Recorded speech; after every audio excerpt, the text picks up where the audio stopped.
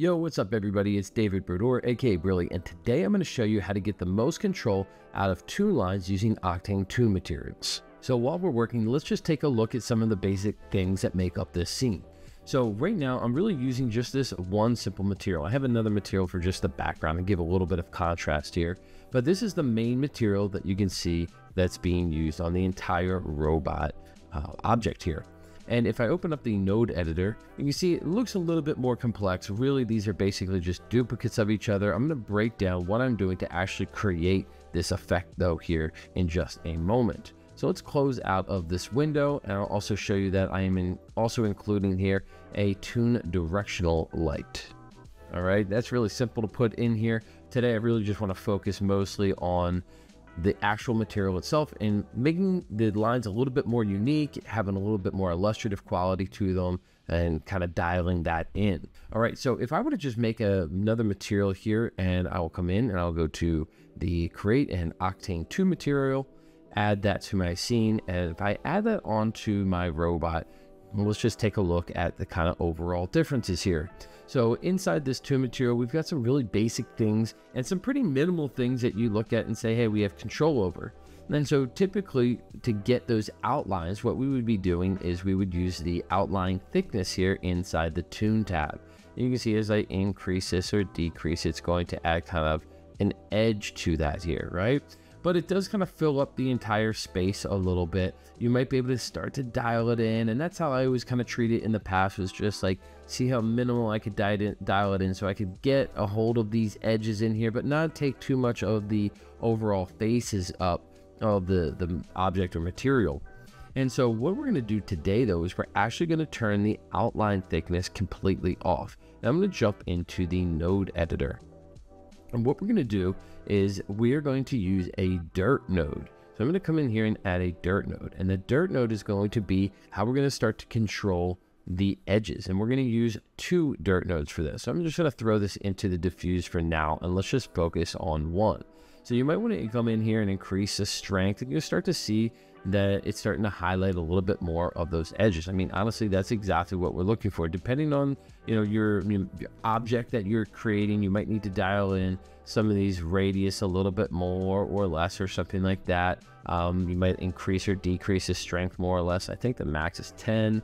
Um, and you can begin to mess with tolerance. And again, all this stuff is going to have a large effect depending on the actual object that you're kind of designing for. But like right there, plain and simple, that's getting us a lot of the little kind of corners and inside edges, like those really compact spots in here, but it's not getting those front edges. And that's also kind of the problem here with the outline thickness, right? It begins to get hard to get those front facing edges. So I'm going to turn that back off. And what we're going to do is I'm going to get a multiply node here. So let's just hop into our, our nodes and I'm going to get a multiply node and place that in. And basically I'm just going to take the same dirt node and I'm going to control click and drag it. I'm just going to, I'm not going to plug it into the multiply yet. I'm going to overwrite this and kind of push this to the side here. And let's just focus on this second dirt node here for a moment. And so this one, what we're going to do is we're going to say invert normal. And so now you can see we're going to start getting that front face edge here. Now again, you're going to want to, you know, start to kind of dial this in a little bit more. Um, and you can see that it is filling in like these other areas, which I don't really want, right? I don't want to have this dark black space here on the geometry. And so right now it's including um, the include objects mode here set to all. If I change this to self, you can see now it's not looking at the other objects around to also create in that dirt node space. Okay, so it's only going to focus on an individual object and not other objects in contact with it. So that's exactly what I want for this front face edge that we're now capturing in here. And once again, know, come in here and you can play with the overall radius that you want, dial that in, get as wide or as sharp as you need. And now I'll plug this into the multiply node and bring that multiply node back into the diffuse. And now you can see we have a really kind of nice overall outline that we definitely were not going to be able to get if we simply just came into the toon and began to try to increase the outline, right? Totally different look. Now, if you want, obviously you can use both, right? If you're like, hey, I like the look of adding kind of both in, well, cool, great. But now you have a lot more control here. I'm going to turn that back off. Now you have a lot more control using dirt nodes and a multiply node here to get a kind of inside the edge and the uh, outside edge facing the camera. Okay, so perfect, but there's more that we can do here. And I was playing around and testing some stuff because although this is this is nice, it is leaving us with kind of this really kind of clean edge here, right? And maybe we don't want that. Maybe we want something again that has like a little bit more of an illustrative style, something that maybe we get from like charcoal or something like that.